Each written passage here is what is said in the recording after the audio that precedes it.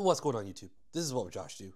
And this is gonna be a different video. So I was actually reached out to and asked to review this product. I initially was not going to, but then I decided, what the heck, why not? The thing is, if you say no to everything, or most things, then there's a lot of things you'll never get to experience. And I'm not feeling the greatest right now, so my voice might not be its normal, and I might not be my normal self, but I still want to make this video. So Anyways, this company reached out to me. I thought it was unique. It's different. It's got a remote for the power bank. Sometimes you'll find things that are gems, you know, one of a kind, ultra cool. You'll never see something like it again. Sometimes you find things that probably shouldn't exist, but here we go. This company did reach out to me. They did provide the sample to me to review. They're not paying me to make this video, but I thought it was pretty cool, so I figured, heck, why not? I'll make a video. So there's all the information there. Man, I really, Really, I should probably wait to make this video because my voice is, man. Alright. So we've got this on the right. She's a chunker. She's a chunker. Then we got this on the left. Alright, so we have some sort of instruction booklet here. Alright, so yeah.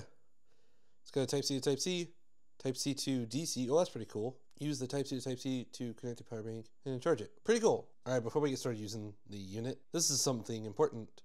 Apparently the remote controls the USB-A or the DC port. So it says this is not possible to charge using the USB-C port while the remote control is used. All right, so we'll get the remote in the box here. Just a little on and off. All right, let's take a look at the unit. All right, so we have a logo here. It has instructions that you can peel off once you remember them got a power button. Right now, three of the four lights are lit up. On the front, we have the output, which is 12 volts, 4.2 amps. And then we have 5 to 20 volts at 3 amps and 5 to 12 volts at 1.5 amps. On the back of the unit, we have some information such as the fact that it can do up to 65 watts maximum. Nothing on the sides or this. It's just all here in the front, that's it. All right, so it comes with a USB-C cable. We connected to a 100 watt power brick. Obviously up to 65 is a good option, but I like to always go with higher. At least more wiggle room, and it also allows for the heat to not be so bad. I'm gonna plug in my tester here, plug in the charger. All right, and right away we see that it's charging up to 20 volts, and we're, yep, we hit 3 amps, so now we're charging at 60 watts almost. We have three of the four lights currently flashing, so it is getting closer to the end of charge. Before it fully charges, I want to try something. So let me get a USB fan, and we're going to put it in the on position. So since we pressed the button, so one, one little press there, the fan is currently on. Press off. Ha! It literally kills the power to the fan. That's pretty cool. And then you can just press the on button and it turns on. Let me let me get everything in the shot here because I didn't get all of it. Look, off. Uh, I can hear that the motor is stopped and the blades are slowing down. And then we'll press on, and it turns on. That's pretty cool. Then obviously it controls the DC port as well. Oh, I've seen this one.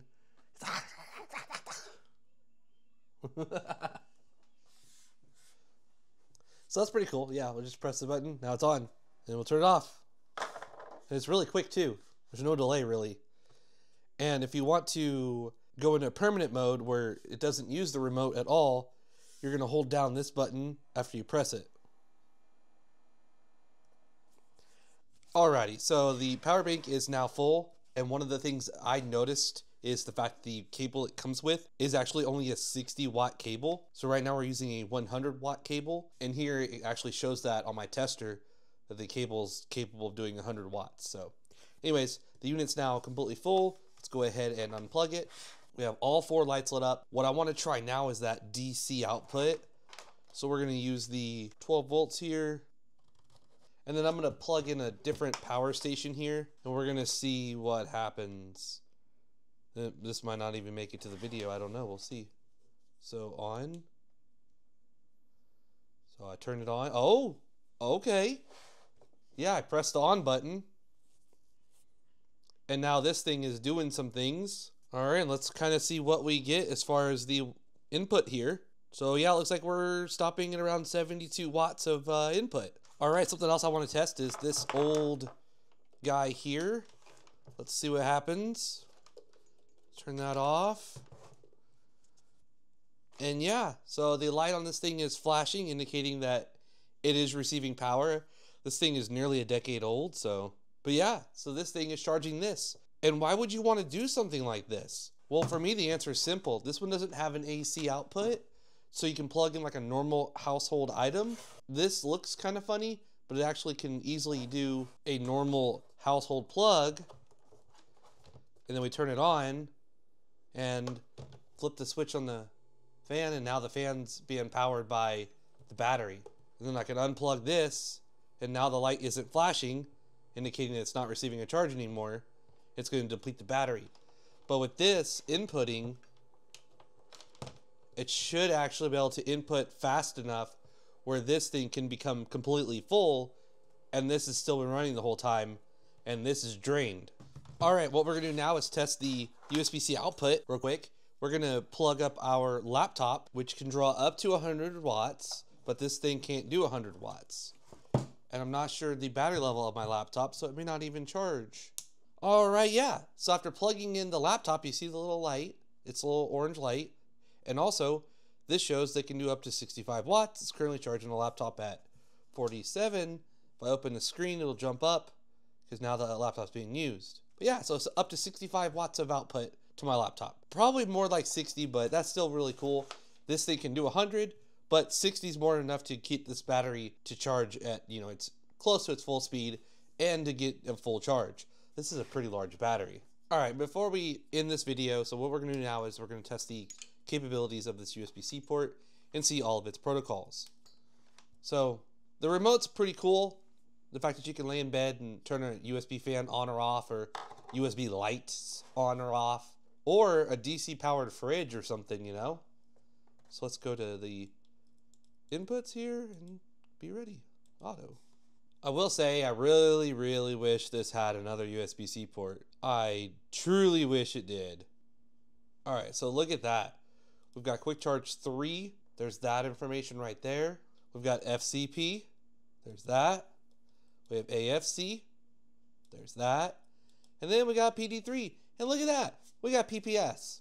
And what does that mean? That means when you plug it into your Samsung phone, you're going to see super fast charging. So that's cool. If you have an older Samsung, you'll only get super fast charging 1.0, which is up to 25 watts. If you've got a newer Samsung like mine, they actually changed it where you don't need 5 amps of PPS. You can actually use more voltage. So let's see. Let's plug it up.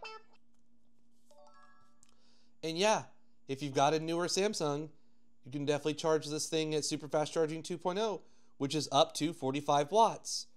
So I'll show that to you again. We'll unplug it, plug it back in.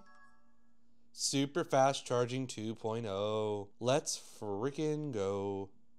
Now my battery's at 61%, so it's not going to charge at its full 40 watt speed, but this thing could definitely do it. And no, the remote should not affect.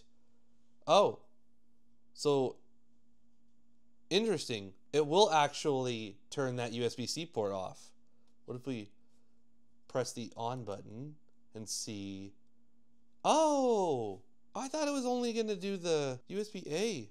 Okay, so it looks like it actually turns the USB C off when you press off, but it won't turn the USB C back on when you press on. Interesting. Okay, so we'll. All right, yeah, so super fast charging 2.0. And then if we press the off button, it'll actually cut the USB C power if we press the on button, it will not reactivate the USB-C power until we do it through here manually. All right, so we turn the unit back on one last time. Plugs in, cool. Very cool. So yeah, I mean, the, the remote function still works with USB-C, but it limits it to only off, that's it. Which is still cool. If you're like, hey, I know it's done, I don't want this draining anymore, you just go ahead and press off, and it'll turn that off. So this is by far one of the most unique power banks that I've ever had a chance to check out. And it definitely for its like size and shape and everything too. It's pretty cool. I would like to have seen it do 100 watts instead of 60. And I would have loved to have seen two USB-C so that we can input USB-C power and output USB-C power for pass-through charging. All right, so now we're, what we're gonna do now is plug this in to get our USB-C input charging. Cool, so we're charging. And what I'm curious about is if this thing can do the 12 volts out while it's inputting 60 watts of power. So we're going to try this, plug this in, and okay, so the light's flashing, but this is not doing anything. What if we unplug this? Does it do anything? No. So we turn it on with the on button here. All right, cool. So now that's flashing it, so that it's charging. What if we try to input power now? All right, so yeah, it's uh, not accepting any input while it's doing it. So if we turn it off, this thing cycles, and yep, now it's glowing orange, and it's accepting an input. So we can't do input and output at the same time. So this thing definitely has its limitations and, you know, things that don't make it necessarily the perfect power bank for everyone. But there's definitely going to be some people out there that see this and go, oh, I can power my USB lights for my office or my outdoor camping, you know, whatever, or that USB fan, or that 12 volt refrigerator. And then it's like, okay, I can, I don't know why you turn it off because you need the refrigerator. I don't know. Lots of uses for this, and there's going to be somebody out there that this is like, oh, that's the perfect solution for for me for my use. It's pretty cool. I'll have a link to this in the description below. This is what would Josh do, and I'm out.